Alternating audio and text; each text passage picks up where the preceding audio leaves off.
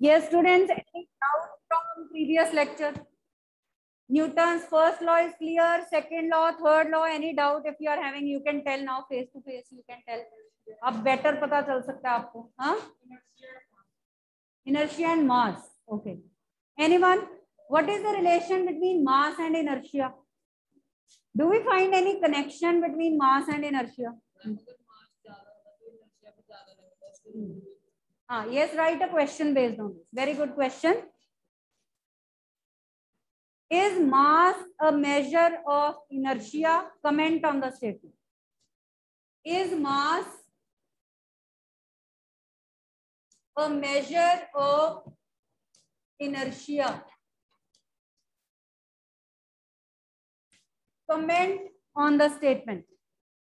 Means this is the main factor on which inertia depends it depends upon mass of an object for instance, let us take up an example of a book and a big heavy iron box. Okay, whose mass is less, book or big heavy iron box? किसका mass less है? Book का. So it is uh, offering very less inertia. It has very less inertia and very easily we can change its state. Book को आप easily move कर देते हो क्योंकि इसका मास बहुत कम है। ये आपके चेंज पर रेजिस्ट ही नहीं कर पाती।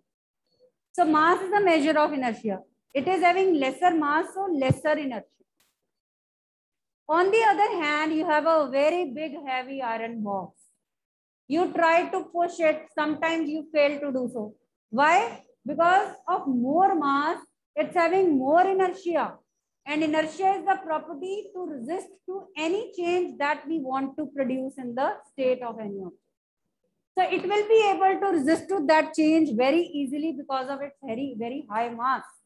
So because of that, what will happen? We will find it very difficult to move it because of greater amount of inertia that it will possess. Right? So we can rightly say that yes, mass is a measure of inertia. Lesser is the mass, lesser will be the inertia, lesser will be the tendency of the body or resistance from the body to our force. We will very easily change the state of that body. But if the mass is very large, inertia will also be more. So because of that, what will happen? We will find it very difficult to move the object. We will find it very difficult to change the state of that object. हम उसको move ही नहीं कर पाएँगे अगर वो rest पे हम उसको हिला नहीं पाएँगे अगर वो मूव कर रही है हम उसको रोक नहीं पाएँगे हम एक ट्रक को रोक सकते हैं क्या? No no. बिकॉज़ रोक सकते हो? Brijesh Singh yes I thought आप, आपने ऐसे किया। तो हम एक बहुत बिग ट्रक है, इतना हैवी है, हम उसको रोक नहीं सकते हैं। अगर वो मोशन में हम उसकी स्टेट को चेंज नहीं कर सकते, हम उसको रेस्ट पे नहीं लेके आ सकते। So yes mass is a measure of inertia and you can add these two examples, book or big heavy iron box or anything from from your side you can add mass is inertia is directly proportional to mass inertia depend करता है mass के ऊपर but example ज़रूर देना ठीक है then let us come to friction we were doing friction that day who will define friction क्या था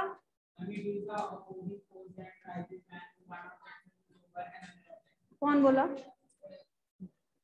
स्पीक अगेन रीड नहीं करना no no no don't read ऐसे ही बता दो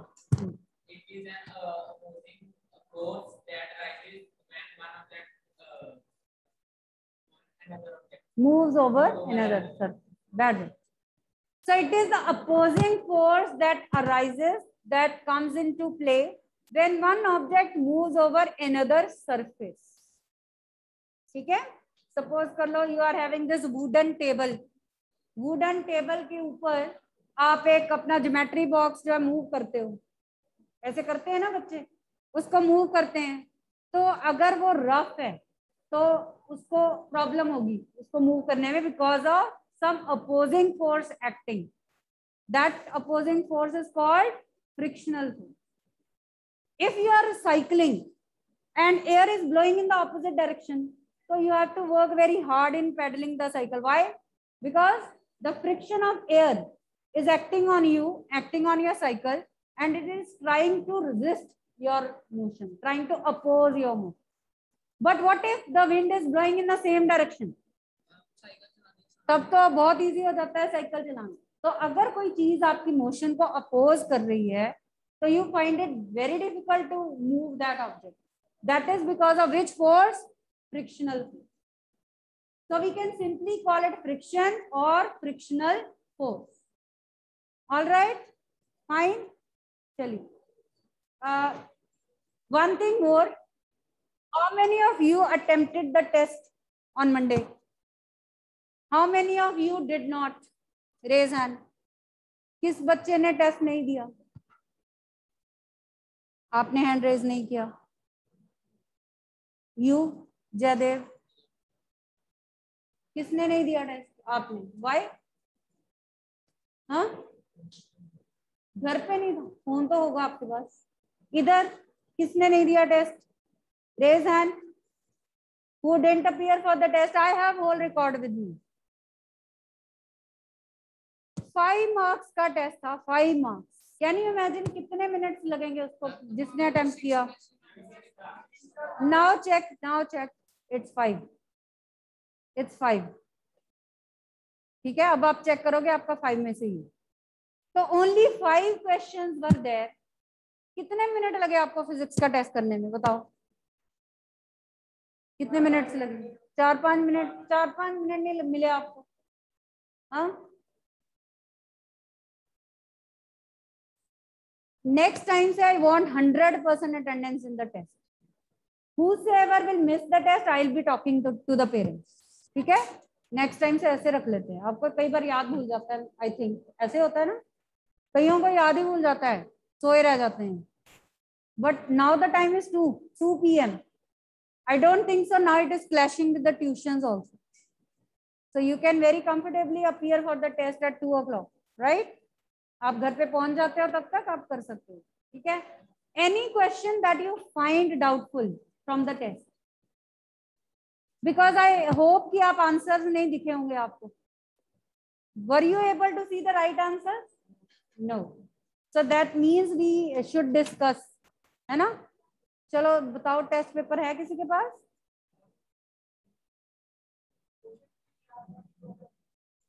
I tell you I tell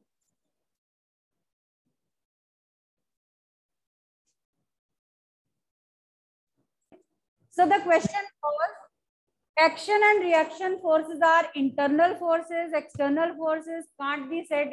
मतलब क्या था? Yes. Internal forces. Action and reaction are only the internal forces.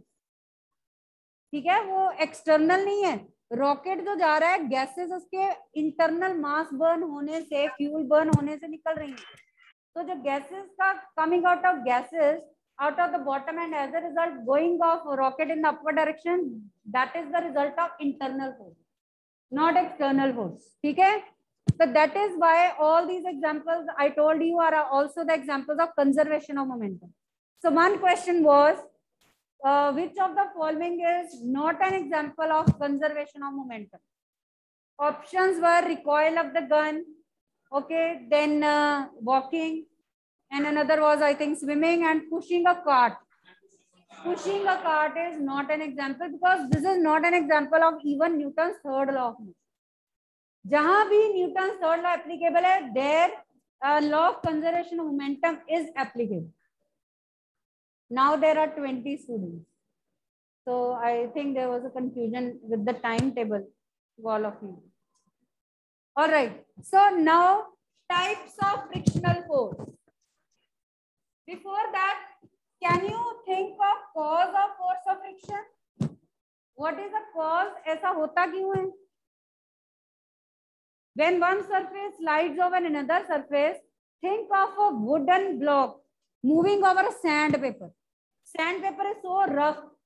उसके ऊपर वुड ले ली वो भी रफ तो जब आप उसको उसके ऊपर मूव करोगे तो कितना ज़्यादा फ्रिक्शन होगा you will find it very difficult to move चाहे उनका मास भी कम हो That is also because of force of friction.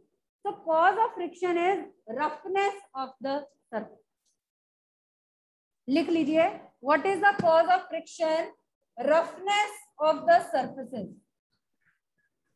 every smooth looking surface is also rough to some extent तो हम एक रफ सरफेस को हिल्स एंड ग्रोव्स की फॉर्म में इमेजिन कर सकते हैं imagine a rough surface to be in the form of hills ये हिल्स हैं एंड ये जो लोअर पार्ट्स हैं these are grooves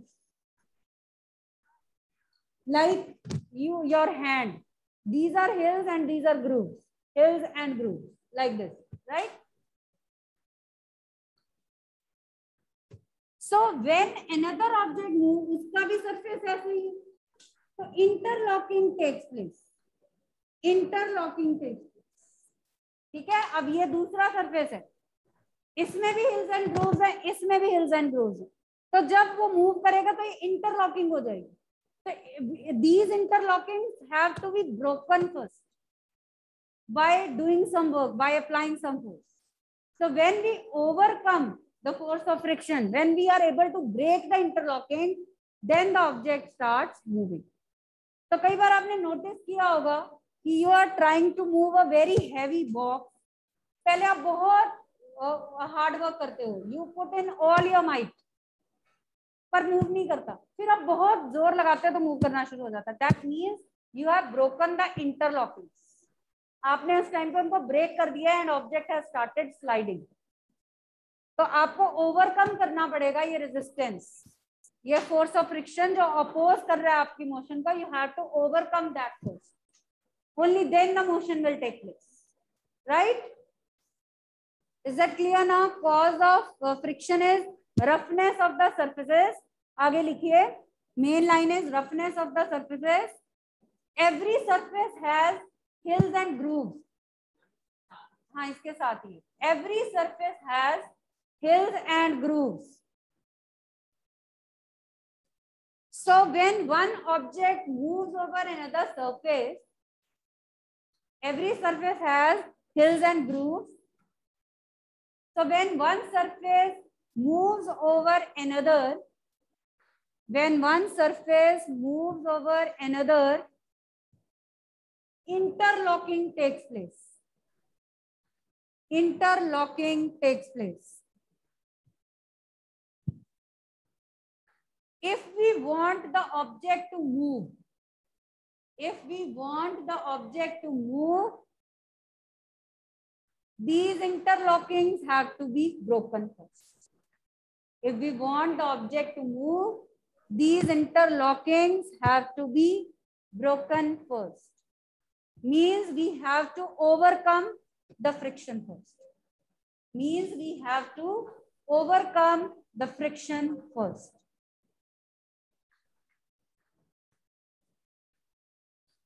ये डायग्राम बना सकते हैं साथ में।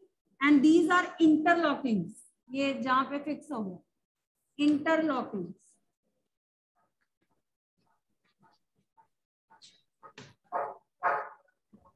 Okay.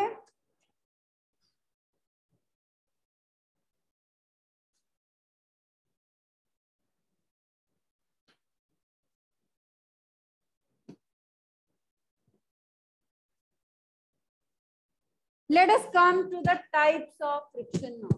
Friction is clear, cause, cause is clear. Types. Mainly there are two types of frictional force sliding and rolling sliding friction and rolling friction sliding जैसे अभी मैंने आपको एग्जांपल दिया कि when you slide any object move move any object over another object ठीक है? When you for example run a bicycle on the ground उस case में फ्रिक्शन स्लाइडिंग है। नहीं बाइसाइकिल में रोलिंग है, क्योंकि आपका जो व्हील है वो सर्कुलर है। ठीक है? एग्ज़ाम्पल लिख लेना। स्लाइडिंग में आप लिखो when you slide a box of iron या a cart on to the floor when you push a box on the floor, this is an example of sliding friction. जैसे कि बुक का example दिया आपको मैंने। बुक को आप table के ऊपर मूव कर रहे हो। दिस इज़ स्लाइडिंग फ्रिक्शन ठीक है? तो लिखो इसका डेफिनेशन क्या होगा? This is friction that comes into play it is a friction that comes into play when an object moves over a surface when an object moves over a surface जब वो move करती है तब It is the friction that comes into play when an object moves over a surface. Moves over a surface. Rolling friction when an object rolls over another surface. It is the friction when an object rolls over a surface. वो जब roll कर रही है तो उसको rolling friction बोलेंगे example riding a cycle on the road riding a cycle on the road उस time पे वो रोलिंग फ्रिक्शन आ रहा it is the friction that comes into play when an object rolls over a surface. When an object rolls over a surface. ठीक है बहुत ही simple सा illustration कर सकते हैं हम। ठीक है ये। आ, अगर एक सिलेंडर है suppose right if you pick that cylinder slide on the ground it's heavy new cylinder है। तो आप को बहुत प्रॉब्लम होगी उसको लिफ्ट करने में, उसको ग्राउंड के साथ स्लाइड करके लाने में। But what you do is if you roll that cylinder very easily it will cover some distance अगर आप उस सिलेंडर को रोल कर दो तो वहाँ से वहाँ इजिली पहुँच जाएगा। अगर आपको उसको ड्रैग करके लाना हो तो आपको मुश्किल पड़ेगी। सेम वे ये डस्टर है you can have any iron object जो हैवी है। ठीक है? अगर आप उसको स्लाइड करो तो डिफ़िकल्ट होगा। बट अगर ये जो दो चॉक्स हैं टू पेंसिल्स हैं टू पेन्स हैं, आप इसके ऊपर अगर इसको स्लाइड करोगे तो सी व्हील्स बन गए, एक टाइप के व्हील्स बन गए। Now this is rolling friction और बहुत इजीली ये स्लाइड कर रहा है। ठीक है आई रिमूव द चॉक्स और अगर मैं ऐसा मूव करूँगी तो मुझे थोड़ा हार्ड वर्क करना पड़ेगा। बट मैंने अगर उसके टायर्स लगा दिए व्हील्स लगा दिए, उसको रोलिंग में कन्वर्ट कर दिया now the motion becomes very easy for me So note it down that rolling friction is always less than sliding friction rolling friction is less than sliding friction. FR मैंने क्या लिखा है rolling. FS I have written sliding. Any any symbol you can. So rolling friction is much less than sliding friction always. So on the basis of this, write a question, conceptual question. Rolling when you ride a bicycle on the road. Riding a cycle on the road. That is an example of rolling friction. Okay, write one question now. Why are the tires of a vehicle circular? Why are the tires of a cycle circular? Anyone can tell me? जो tyres होते हैं वो triangle shape के क्यों नहीं होते square shape के tyres have you seen देखे हैं कभी? स्क्वायर शेप के टायर्स देखे देखे हमने? हाँ। क्योंकि if the shape of the tyres is circular then in place of sliding friction, rolling friction will come. And which will which will be very less than sliding friction और vehicle को move करना बहुत easy हो जाएगा। ठीक है? Vehicle को move करना रोल करना बहुत इजी हो जाएगा। क्योंकि व्हीकल्स में रोड पे चलना होता है। तो अगर वो स्लाइड करके जाएँगे तो it will be very difficult so that's why sliding friction is converted into rolling by using circular shape of tyres sliding friction is converted in rolling friction and rolling friction is always less than sliding friction ये आप बताओ। Will you be able to write the answer हो जाएगा? Any doubt your okay. So further there are three types of sliding friction. Further three types are there. Static, limiting dynamic Further, there are three types of sliding friction. Further, there are three types of sliding friction. Static, limiting, dynamic. So this is a kind of concept map, a mind map. And uh, uh, what you have to do is, after this chapter is over, you will draw the concept maps of both the chapters in your copy. Beautiful concept map you will make on your own. Not taking help from net, not taking help from any book. आप अपनी creativity से एक attractive one page का concept map बनाओगे इस chapter का और previous chapter that will give you summary of the whole chapter so that you will do in tenth also ninth में भी हर चैप्टर का बनाते जाना है, जब वो ओवर हो, फिर टेंथ में भी ऐसे। Right and that will be very helpful for revising the concept revision के लिए बहुत अच्छा रहेगा। Fine us define static limiting and dynamic friction अब ये तीनों स्लाइडिंग ही। मतलब ऑब्जेक्ट मूव ही कर रही है। तो what is the difference now अब वही big heavy iron box imagine कर लेते हैं। I showed you simulator also that day तो वो जब क्या कर रहे थे आप? बुक का शेल्फ था, वो क्रेट था पूरा का पूरा। When that man was applying the force वो क्रेट इजिली मूव नहीं कर रहा था। है ना? एक बिग हैवी आयरन बॉक्स होगा। यू डोंट नो कि कितना हैवी है, आपको कोई आइडिया नहीं है उसका। आप थोड़ा सा फोर्स लगाते हो मूव तक नहीं करता है। That means you applied some force but where does that force go वो कहाँ गया? आपने फोर्स अप्लाई किया, वो गया कहाँ? बताओ। It is opposed by a frictional force acting in the opposite direction. उसको एक फ्रिक्शनल फोर्स ने कैंसिल कर दिया। क्योंकि जब आपने इसको मूव करने की कोशिश की, अपने आप एक फोर्स प्रोड्यूस हो गया ऑपोजिट डायरेक्शन में जिसने उसको कैंसिल कर दिया। ठीक है? आपने थोड़ा सा फोर्स और लगाया। It didn't move at all फिर से मूव नहीं की।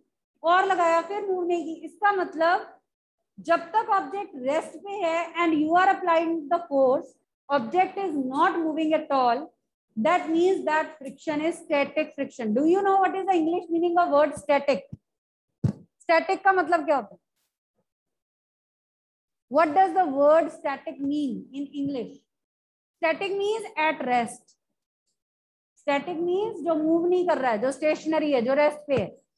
तो जब तक आपकी ऑब्जेक्ट रेस्ट पे है, आप फोर्स अप्लाई कर रहे हो बट ऑब्जेक्ट मूव नहीं कर रही है, तब तक जो अपोजिंग फोर्स है, तब तक जो फ्रिक्शनल फोर्स आ रहा है that is called static friction ठीक है? तो तीन पार्ट्स में डिवाइड कर लेते हैं कि वो बॉक्स मूव कब करेगा। अभी मूव नहीं किया है। अब जो फ्रिक्शनल फोर्स है वो कौन सा है? Static friction so write the definition of static friction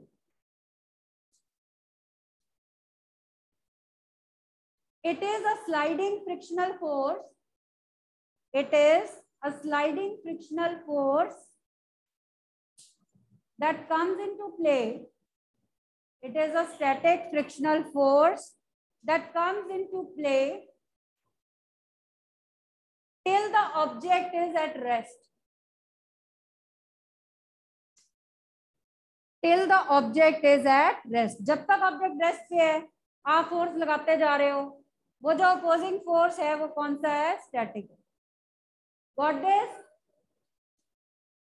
is that okay यहाँ तक कोई doubt then we come to limiting limiting अब आप सोच रहे हो कि मैं तो इसको मूव करके ही रहूँगा।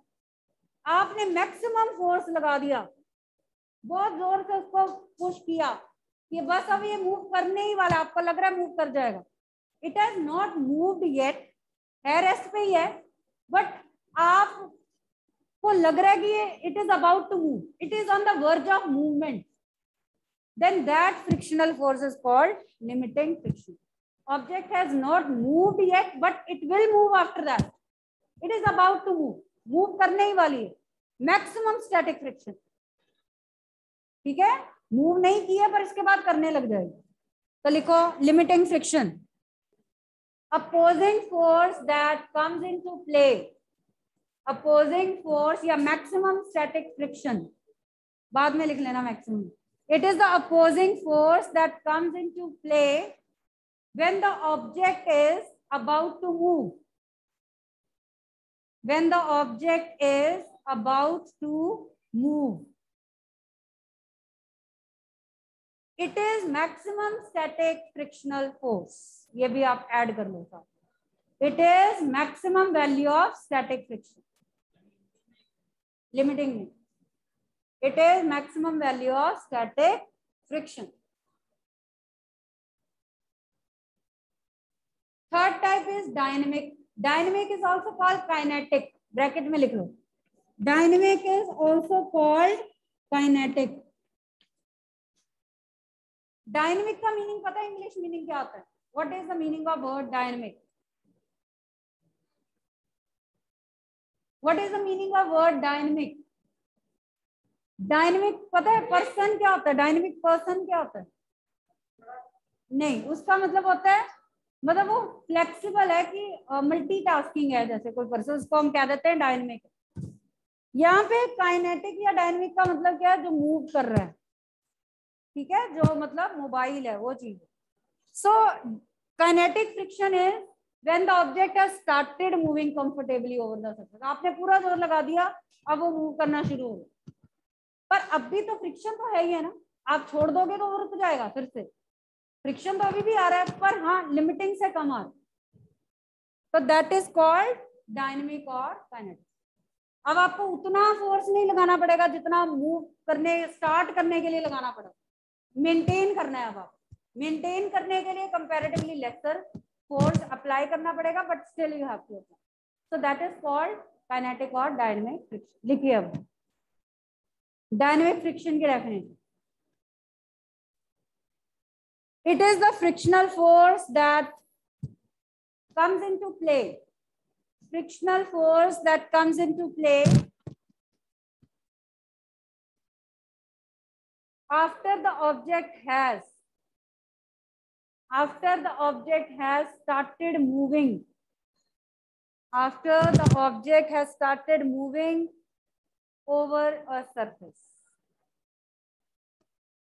object has started moving over a surface ठीक है so let us end this topic now friction topic what are uh, friction is a friend and a foe friction is a necessary evil comment on the statement ठीक है वो कर सकते हो comment कहाँ पे friction why it is called a friend why it is called necessary because there are certain things that we can't do without friction and why it is called evil और foe enemy क्योंकि कई जगह पे हम इसको नहीं चाहते so both things are there तो लिखिए question friction is a necessary evil comment on the statement friction is a necessary evil comment on the statement necessary में क्या लिखोगे? एडवांटेजेस evil में you will write limitation disadvantages तो first of all लिखिए necessary why necessary कहा आप आप you will slip otherwise अगर फ्रिक्शन नहीं है you won't be able to walk आप रुकोगे ही नहीं कहीं, आप स्लिप करते जाओगे. ठीक है? चलो कल करते हैं इसको complete and bring your NCERT tomorrow bring your ncrt tomorrow because we are to start with the exercise. Fine